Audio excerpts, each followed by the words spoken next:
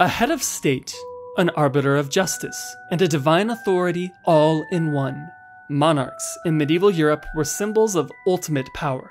With great wealth and even greater responsibility, many ruled as warrior kings, winning dramatic battlefield victories, except those who were felled in catastrophic defeats. Many more proved themselves worthy and just administrators, expiring after a long and successful reign. Others yet were found to be brutal tyrants, often meeting death at the end of a dagger. Yet, no matter how they chose to rule, they all met their end.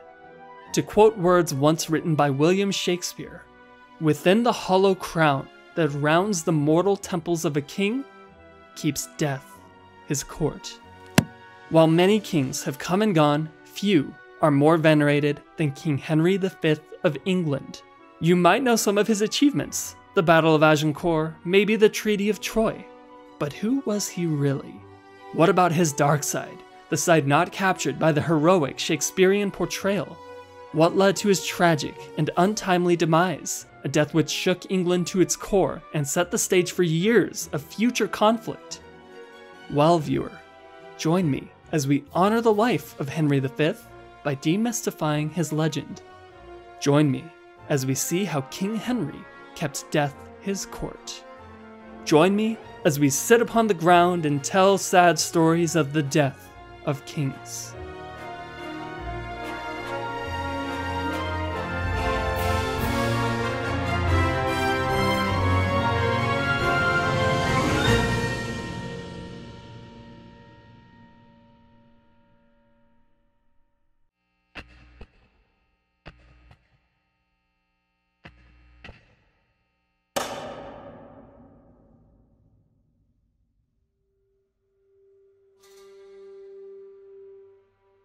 A man sat solemnly under a golden canopy and atop an ancient throne.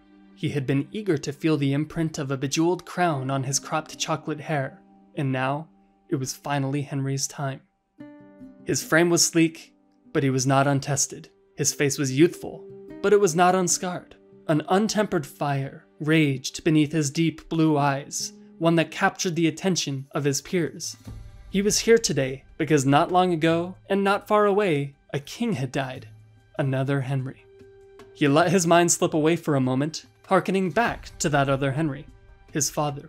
Henry IV, once called Henry Bolingbroke, had usurped the throne from the tyrant Richard II.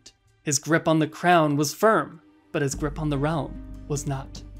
Soon enough, his problems became his son's problems. As early as his mid teens, the younger Henry was on cleanup duty while his father struggled with his health. When Harry Hotspur rebelled, he was there. When the Welsh took their shot at independence, he was there. After years, some of these problems were still not solved. It wouldn't be that way for long. Henry sighed. Not everything was so bad between him and his father, but perhaps slipping from this life had been the best thing he had ever done for the realm. His drifting thoughts were broken by the sound of approaching footsteps. Two bishops came towards him one carrying an eagle shaped ampulla. Finally, Henry thought. Holy oil poured from the ampulla into a spoon. Muttering some Latin prayers, one bishop dipped his fingers into the oil and ran them across Henry's arms, chest, and head. Oil which had dawned the heads of dozens of kings past. The most sacred ritual in this drawn out process was complete. He was anointed. He had been chosen by God, and now he was gifted with guidance from the Holy Spirit it was finally time to get his crown.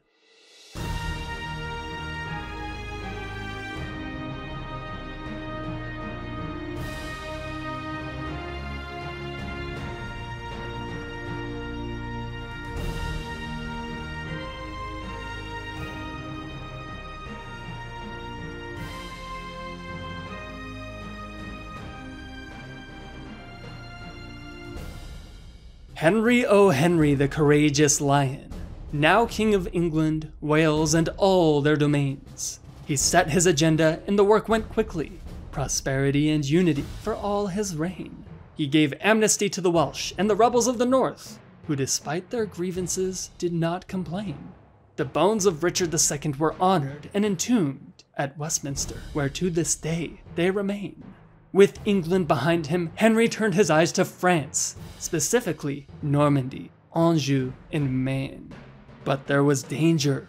Henry's line was new to the throne, and some felt Edmund Mortimer had the better claim.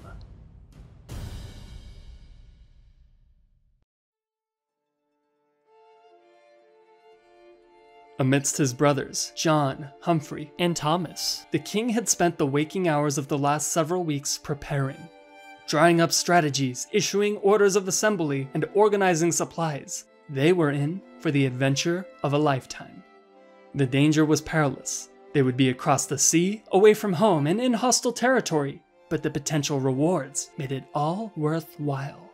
England and France had been at war on and off for the better part of the last century. Four generations of English kings had waged this war, but Henry made it his mission to be the last. After all, who was anyone to deny his claim to the French throne, a claim backed by centuries of cultural and historical zeitgeist? Your Highness, a guard interrupted. It's Edmund Mortimer. He claims he must see you at once. He says it can't wait. Henry rolled his eyes. What now? What could possibly be more important than an actual war? well, I suppose we can spare a moment. Send him in. Lord Mortimer, I have been told you have something to say. My king, I, I have a confession to make. Mortimer, if this is something your priest can handle, I am going to be extremely unhappy. Collapsing to his knees as though he were weighted by a thousand pounds, Mortimer began to wail uncontrollably. Mercy, my lord's mercy, I swear to you, I didn't know. I came to you as soon as I learned I'm not involved with them. Please, mercy. The sudden outburst came as a shock to the brothers.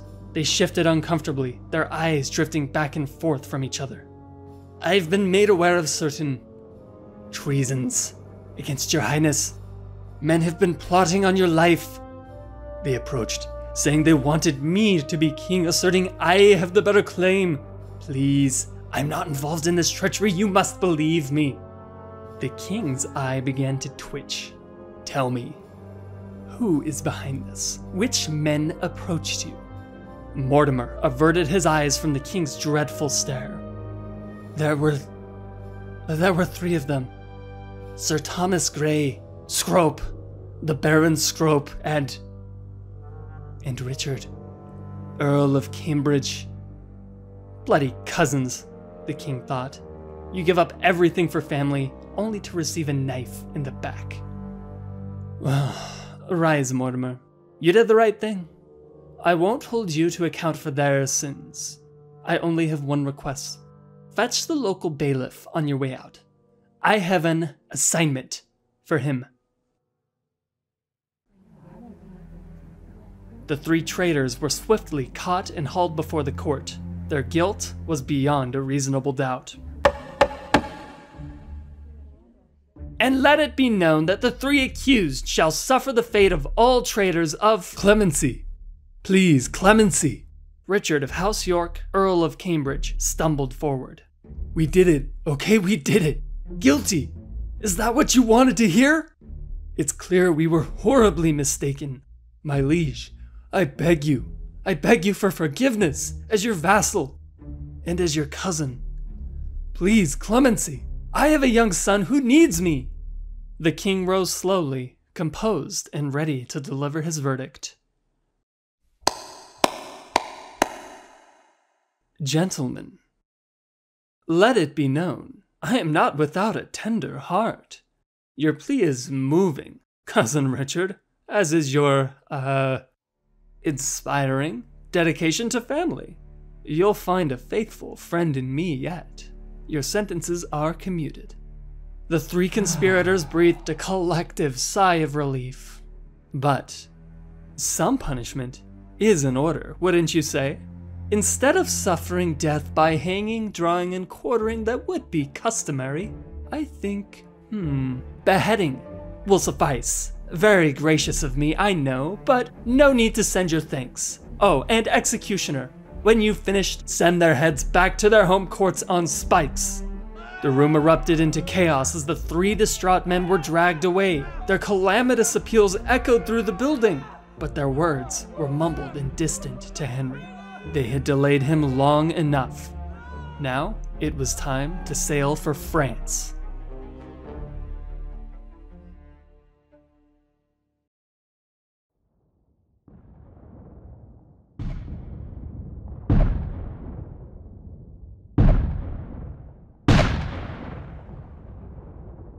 A month. A month since they had landed in Normandy. A month of cannon shots tearing across the sky. A month of dysentery pillaging the English camps. A month that felt more like a decade. How could things have possibly gone so wrong?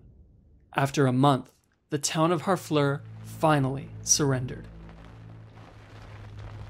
Henry was at a loss for words. He had already lost countless men, not to battle, but to disease. The French had raised a large army, and there was no telling when they would arrive. He was exhausted. Everyone was exhausted, sick and tired of writhing around in this hellscape.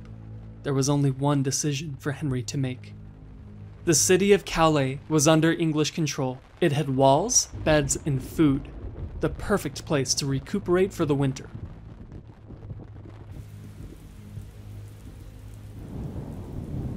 The army set out. They marched in the day.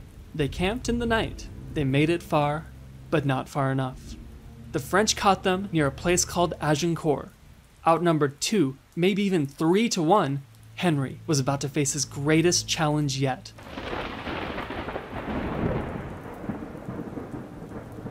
No one had slept. Everyone had been drenched by yesterday's downpour. Between two forests, the English longbowmen began to set up their defenses, thick logs and sharpened stakes protecting them to their front. They knew if the French horsemen caught them in the open, they'd be ground to dust. In the center stood the valiant men at arms, ready to hold the line against any attack. The ground began to quiver, steadily growing to a tremble as the moments passed. The men felt the reverberations in their chests as the accompanying sound of galloping grew louder. Here they come, a sergeant shouted. Their lines bustled with frantic activity. Longbowmen were rushing into place as quickly as they could, hands shaking as they nocked their arrows. Finally, the order came Draw! Loose! Volley after volley, arrows were launched off the bows and hurtled towards the charging French knights. Some clanged and snapped on their pristine armor, but the horses were not so lucky. The French steeds began crumbling into the ground with each shot, their riders tumbling into the mud in turn. Minutes passed, which seemed like hours. The living French horses scrambled away in fear, totally out of control. Groans and cries of suffocating men trapped beneath their horses emanated across the ghastly field. The French footmen followed this catastrophe. They trudged through the mud, constantly harried by arrows.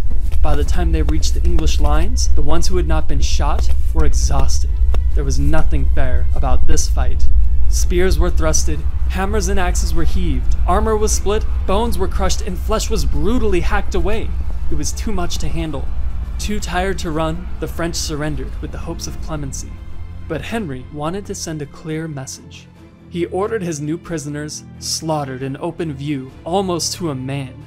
Seeing the fates of their unlucky comrades, the French didn't dare attack again.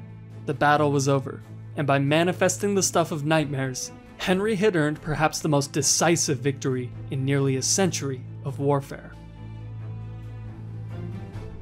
King Henry arrived in Calais and later returned to England to the sound of jubilant applause. News of his victory had spread across the land. The country was hopeful for the future and poised to continue the fight. New war taxes were granted, and King Henry was quick to draw up his new invasion plan. But the nightmarish hellscape of Agincourt had deeper consequences. In an ironic twist of fate, many of those killed at Agincourt were not simply levied lowborns, but the creme de la creme of French nobility. With their leadership lying dead on a muddy field, all hell was about to break loose in France.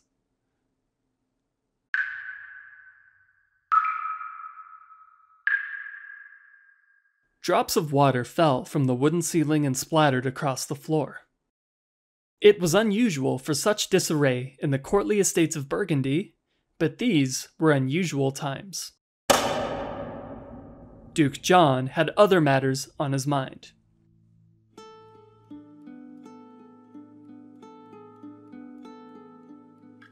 A terrible battle had seen many of his fellow French noblemen cut down, many of his fiercest enemies. In his life, he had earned the nickname John the Fearless, but it wasn't his bravery that led to him becoming one of the most powerful men in France, it was his machinations. He didn't quite know what to make of the situation, but did know it brought tempting opportunities. Sure, John had his shortcomings with the English, but they did good business. Their merchants were honest, and his Flemish subjects needed their wool trade. On the other hand, his greatest detractors were right here in France. this is the time to strike, he thought to himself. Paris is open for me to take control. This'll be easy. Those fool Armagnacs spent all that time trying to control the king, only to end up keeled over in some miserable field. they should have killed me when they had the chance. Now their chickens are coming home to roost. It was time, once again, to set sights for Paris. His mind began to wander to the last few times he had been in the city. Nothing but mischief. For the last decade, the realm had been torn apart by his scheming. Murders, arrests, executions, and riots had all come from the conniving fingertips of Duke John. The more he thought of his malfeasances, the more frustration began to well up in the Duke's mind, and the justifications rolled in. Who can blame me? The king is incapable. He needs guidance, and the crown needs capable leadership. If it weren't for those Armagnacs, none of this would be necessary. I only needed. The Duke stopped himself. He knew ruminating on past events would consume him. I only need to think to the future. Think of my rights. Paris.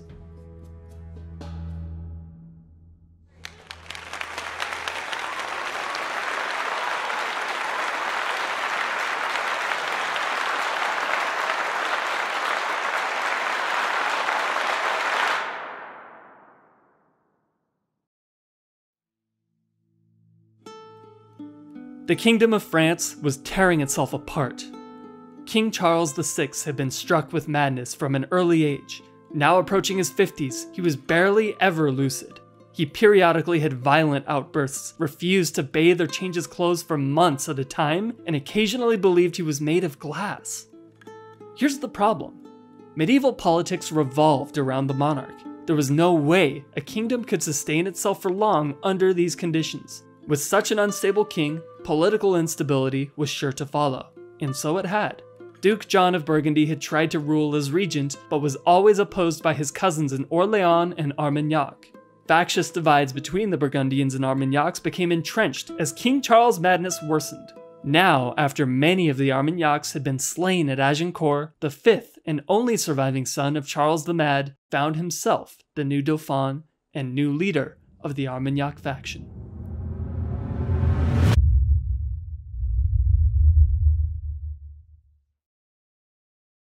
On the run, surrounded by enemies. Dauphin, the last of our bannerets have arrived from Paris. We're ready to march on your command. Dauphin? It's inconceivable, sir, that our kingdom should be invaded by another only for our own countrymen to evict us from the royal court. Simply inconceivable. They'll be brought to heel. It's only a matter of time. Spare me your platitudes. Have you not read the reports? The English king captures more of Normandy by the day. Instead of marching to face him, we've been chased out of the capital by a Burgundian mob. Do you not understand what a humiliation they've brought us? My. my apologies, my liege. no, I'm the one who should apologize. You've been a loyal soldier, but mind yourself, sir, things will not be so easy. As we speak, the Burgundians consider supporting Henry's claim to our throne. If John the Fearless continues to stand in our way, all will be lost. I see. Well, what can we do? You can start by fetching me something to write with. Something to write with? Yes. Don't you see? John the Fearless is the key player here. We must not allow him to do anything rash. Unfortunately, to do so, we must make certain gestures to him, make him feel at ease. So, yes, I require something to write with. Of course, Dauphin. As the months passed, King Henry's new invasion continued to gain traction, and John the Fearless continued to entertain his claim, but the Burgundian Duke had still not declared for him. As the Dauphin sent his letters pleading French unity, the good Duke John appeared a bit less intractable. Time passed, tempers had cooled, and meetings were set. Maybe there was a chance for reconciliation.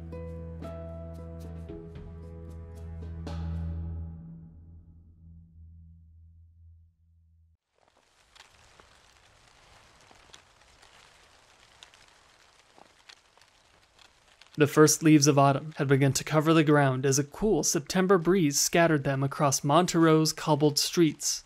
The sky seemed oddly pale. Its lingering presence made Duke John feel uneasy, or maybe it was his reasons for being here which made him uncomfortable.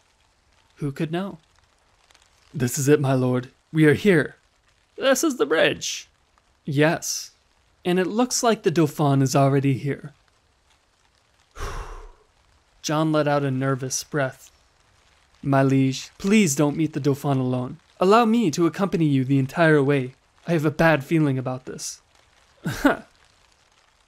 Tell me, what is it the people of the realm call me? Uh, John the Fearless? The Fearless, exactly. Remember that next time. Besides, it would be seen as a sign of disrespect for you to come. I've handled better men than this petulant child of a prince, Trust me to handle this too. As you wish.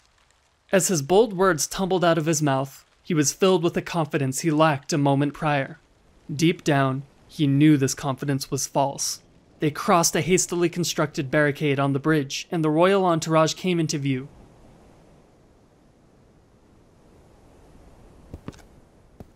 The Duke began to walk forward, leaving his retinue behind. His stomach began to twist into knots, each step drained his confidence as though a thousand needles had pierced his skin, emptying more of his blood by the second.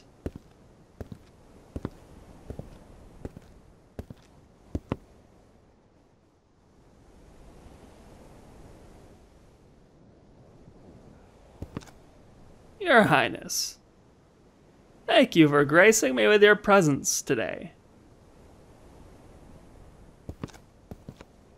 I uh, it delighted me to receive your communications since our last meeting. I'm hopeful our differences can be resolved. R right. Well, shall we begin our discussion? Something was wrong. John had made a mistake coming here. The anxiety was breaking him. Seeking any kind of reassurance, he fumbled his hand over the hilt of his sword. An Armagnac knight snapped. You dare reach for your epee in the presence of His Royal Highness the Dauphin. Before the Duke could respond, another man leapt forward, axe in hand. John had walked into a trap, but there was no time to digest that realization. The axeman had already struck him, leaving a deep gash on his face. The Duke stumbled back in pain, raising one hand instinctively to cover his face and the other to ward off his attackers. Stop! What are you doing? He pleaded, but it was futile. This was the signal for attack, and a dozen more men had rushed in to finish the job as the Dauphin looked onto his cruel makings with casual indifference. John the Fearless would not be getting out of this one. John the Fearless's machinations had finally come full circle.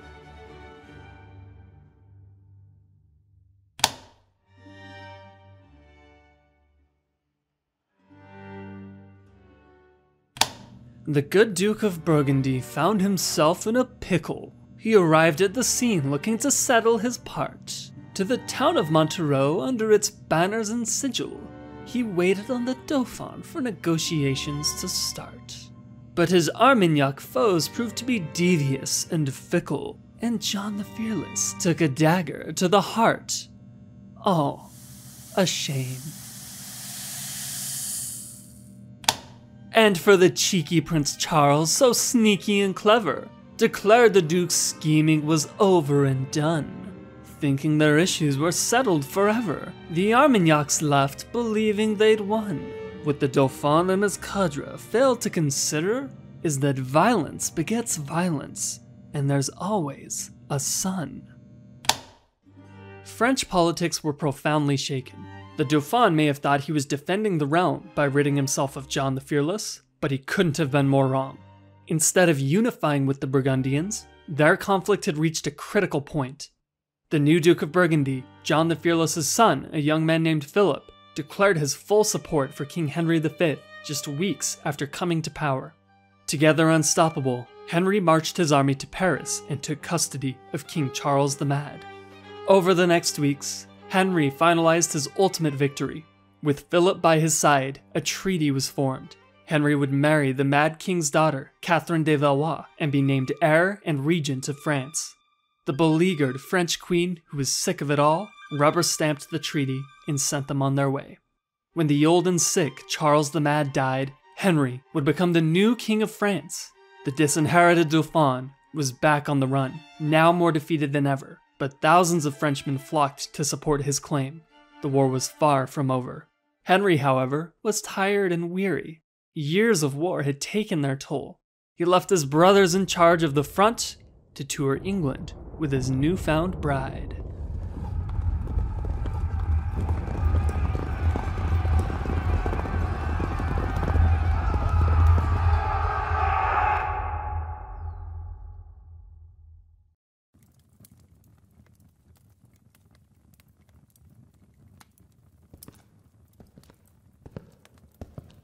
Henry, you look troubled. What's wrong, my dear?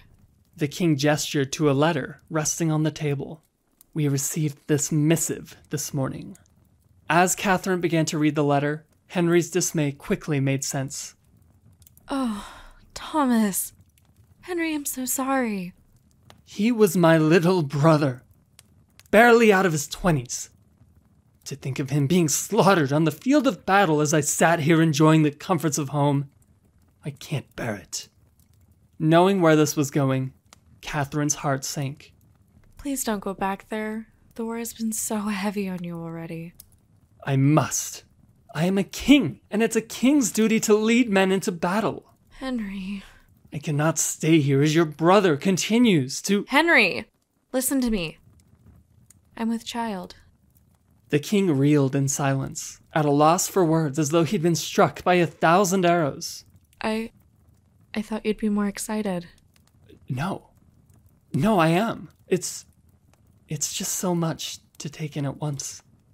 Please don't go. I'm afraid I don't have a choice. You must understand, this war must be fought, and no one else can do it. I promise I will return to your side. Our child will want for nothing. If you must. And so, Henry V sailed for France, keen on avenging the death of his brother and ending the war once and for all. This time, war wouldn't be so easy. They marched to the city of Meaux and began a siege, intent on starving the town into surrender. Summer turned to autumn, autumn to winter, and winter slogged on until finally spring had come. After the last dregs of snow had cleared, Meaux surrendered, but the arduous siege would claim a final victim. King Henry's exhaustion had reached its peak. Years of war had taken their toll, and after leaving Meaux behind, he felt worse than ever. He laid down to rest, but upon waking, his face was hot to the touch, and he hardly had the energy to move. Physicians were called, but deep in his mind, he knew his fate had been sealed.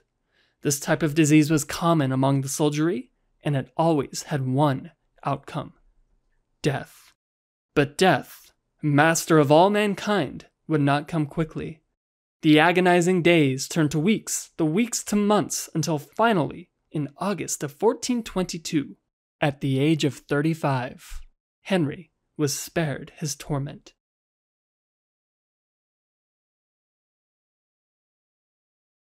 The Kingdom of England greeted this unwelcome news with shock. Shocked most of all was Queen Catherine, who wept aside her now nine month old son, named after his father. The younger Henry would never know the elder, but he would intimately know the legacy he left. He inherited his father's riches, but also his problems, problems which were as great in magnitude as they were in number.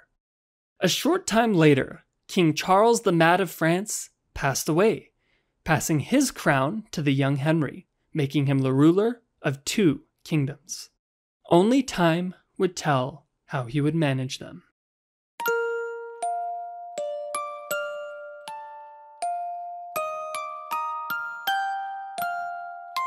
Shh, he's sleeping. Isn't he cute? It's ironic, in a way, that one of England's most venerated kings would suffer the same fate as many of his lowest born subjects. It's ironic how the whimsical wheel of death punishes both the richest and poorest of men with equal capriciousness. But aren't these some of the greatest ironies in life? We must honor the dances we all do. Some may dance an elegant waltz, while others dance a fiery tango. We must appreciate the beauty and difference of each dance, but have respect for the inevitable conclusion. However, you choose to move about the floor, eventually, the music will end and your dance will be over, as it was over for Henry V.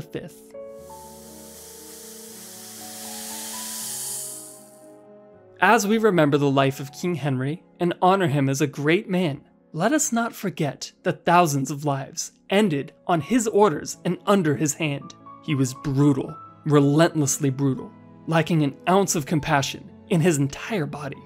And to what end were these lives lost? While his tireless pursuit of the war was certainly met with much success, at what cost did the success come?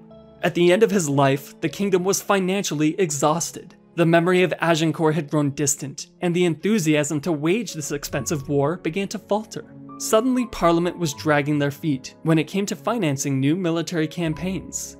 This deeply indebted kingdom was tasked with controlling France, a much larger kingdom whose people did not want to be controlled. They were embroiled in further war as a result. Now, in 1422, the person who inherited England's multitude of problems was a nine month old infant. Henry's death could not have been worse timed, but in terms of his legacy, perhaps his death could not have been better timed. Perhaps death, coming at such a young age, served to cement his legacy at its peak. Maybe we remember him as being great because he simply did not have enough time to fail. If you enjoyed the video, share it with a friend so they can enjoy it too. To support the channel, join my Patreon linked in the description where you can get access to exclusive content. And be sure to check out the Discord where we can interact. Take care, viewer.